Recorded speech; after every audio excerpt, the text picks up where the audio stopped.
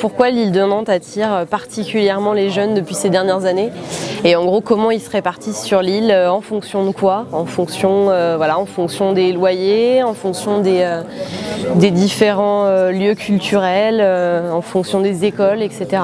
On pensait partir sur une approche, sur une approche historique et en fait on s'est heurté à un manque de données au niveau de l'INSEE. C'était assez fouillis, il y a des données qui viennent un petit peu dans tous les sens, qui sont pas forcément comparables les unes avec les autres. Ça nous a pris un petit peu de temps, mais ça y est, on commence à cerner, euh, à cerner un petit peu ce dont on a besoin. Et puis finalement, les données de l'INSEE sont assez, euh, sont assez conséquentes, donc euh, même en se basant uniquement sur 2009, finalement, on trouve pas mal de choses.